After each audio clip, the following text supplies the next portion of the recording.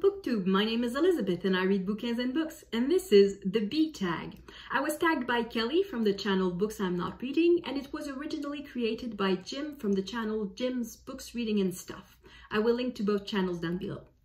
This tag is part of the alphabetical tag started by Jim and I think they're really fun. Uh, I'm going to try to do them all. I don't know if I will have the time, but I think they cover a lot of ground and as a new booktuber, I think it's good for you to get to know me as a reader, so they would be very useful for that. So uh, I will start with the B tag because I was tagged and uh, yeah, so prompt number one. B is for Bildungsroman. Do you have a favorite Bildungsroman or coming of age story? At first, nothing sprang to my mind. I had to browse my bookshelves a little bit for that. But then when I saw that book, I thought, oh yes, that's the one. So this is Au pied de la pente douce, or in English, The Town Below by Roger Lemelin. It is set in Quebec City, so that's the reason for the title. Quebec City is built on a hill. At the top of the hill, there's the rich people, and at the bottom of the hill, there's the poor people. And in this book, we are in a poor neighborhood, in a working class neighborhood, in the town below.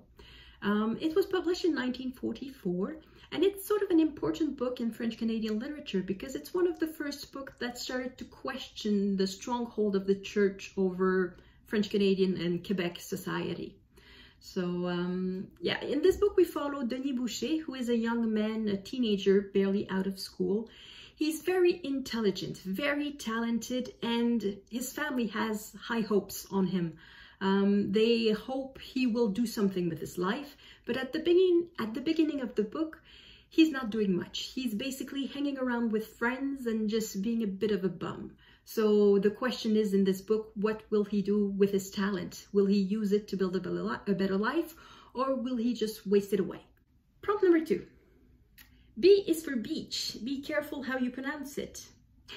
In standard French, there's no such thing as a long vowel, so there's just one way to pronounce beach, and it's not beach, it's the other option. what would you recommend for a beach read? Um, I'm one of these people who think that anything can be read at a beach. It doesn't have to be light, it doesn't have to be uh, frothy, silly, fluffy, or whatever. Uh, if you want to read uh, the darkest book ever, you can read the darkest book ever. If you want to read a legal treaty, just go read a legal treaty, whatever you want. Uh, I will present the book, the last book that I read at the beach, and I was in Cuba, so I read a Cuban book, Leonardo Padura, The Man Who Loved Dogs. Um, this is a historical novel set partly in Mexico and partly in Cuba. It's about Trotsky, the founder of the Red Army, the Russian revolutionary, who was exiled by Stalin. Uh, so we follow him in Mexico during the last, uh, is it the last days or the last weeks? Probably the last weeks of his life. And we also follow the life of his killer. So uh, very interesting if you have a lot of time at the beach. It may not do for just an afternoon. Prompt number three. B is for best. What is the best book you have read this year so far? I read many good books and it's hard to pick just one that stood out. One that I liked very much is uh, Don Quixote by Cervantes that I read for the first time. But uh, I did not choose this one. For, for this prompt, I decided to choose uh, The Good Soldier by Ford Madox Ford. It's another classic, this one from uh, the early 20th century. Um, okay, well, first things first, you can see one of my quirks as a reader. I leave the price tag on the books because I think it's relevant information for my future self. And by the way, I did not pay $6 for this book. This is a collection that is at 3 for $10 at Chapters. So I, I bought three and I paid $10 for the three. so uh, as you can see, this one I annotated a lot and it's not something that I do very much. Normally I just uh, start at the beginning and once in a while I may put a post-it if there's a passage that uh, grabs my attention. Um, I may jot down a few notes in a notebook, but I don't annotate that much and um, I had a lot of fun sort of analyzing this book as I went. The red flags are for when there's a red flag that uh, the narrator is being unreliable. So basically every time he says, I swear, I assure you, uh, by God, it's true, and that sort of things. So um, I think that's one of the reasons why I enjoyed it so much because I thought about it a lot while I was reading it and not just afterwards. So, The Good Soldier. Prompt number four. B is for bookshop or bookstore. You have a favorite bookstore? Um, I think any bookstore can potentially be my favorite bookstore. Uh, some of them I like more than others. Uh, I really like the one I have locally, which is La Librairie du Soleil, the, the, the bookstore of the sun in downtown Ottawa. It's an independent French bookstore and I think it's great uh, to have this bookstore in the middle of an English-speaking community. Well, mainly English-speaking. There are a lot of French speakers, obviously, otherwise the bookstore wouldn't exist. But uh, I think it's awesome to have this bookstore right in the middle of the right in the middle of downtown. Uh, well, not quite downtown, of the market area. So uh, yeah, I will say that this is my favorite bookstore. Prompt number five. B is for banned books. Is there any book you think should be banned?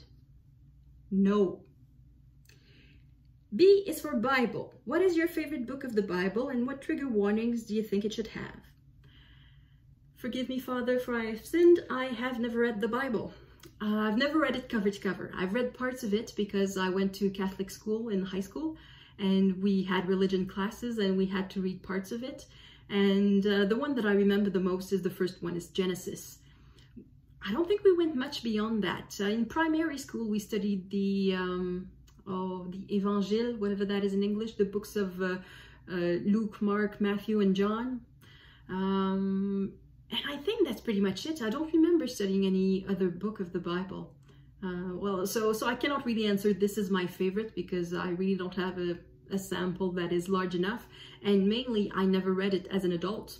It's only for school. I've never, I don't think I ever looked at a Bible outside of school. I have one. I still have my, the Bible I had to have for school.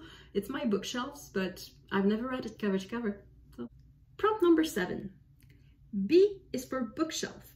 Show me your bookshelf slash bookshelves. I have a ton of bookshelves and I don't feel like doing a bookshelf tour, so I will just show you one because it's one of the options. It says bookshelf singular. So I will show you a single bookshelf, which is my favorite bookshelf in my apartment.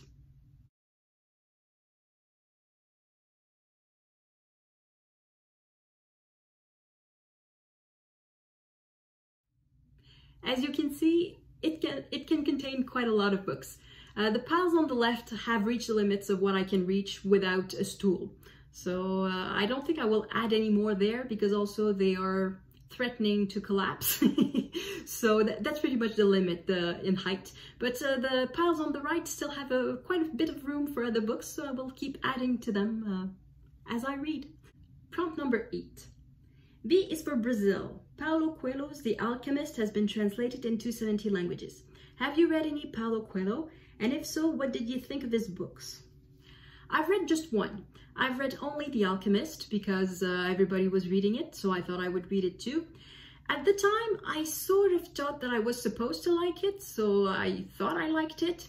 And then I lent it to my mother, and when she finished reading it, she gave it back to me and she said, I don't get it. And I realized that I did not get it either and that I couldn't see what was the point of the story. Uh, well, the, the, the, point was obvious, but beyond the obviousness of it, the, the, the cutesy, uh, new age kind of uh, parable, or I don't know how to call it, um, it was not super interesting. So I haven't read any other Paulo Coelho's after that. Uh, it's the only book that I've read.